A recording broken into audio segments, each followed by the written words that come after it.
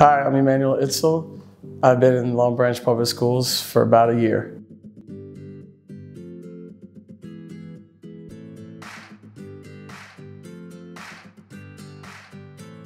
What inspires me is being part of this community. I went to school in Long Branch and it's been such a pleasure to work here and just being able to give back to the community, the kids, the staff. It's been amazing. It means a lot to me to be part of the Green Wave and giving back is what I'm here for and for the community. I am excited for the years to come. I hope to be here a long time and making sure schools are safe.